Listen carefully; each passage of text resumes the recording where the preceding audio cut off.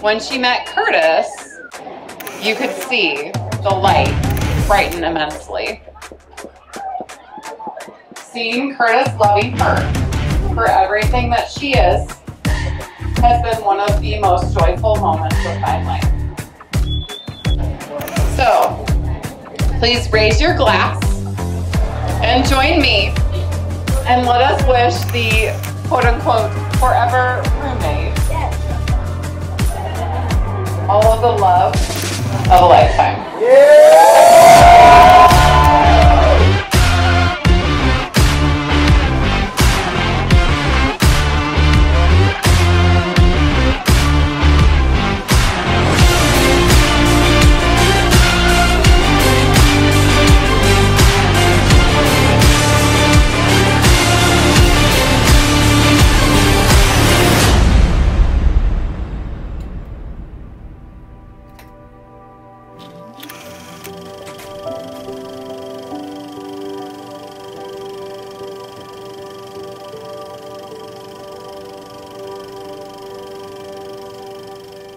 Bye.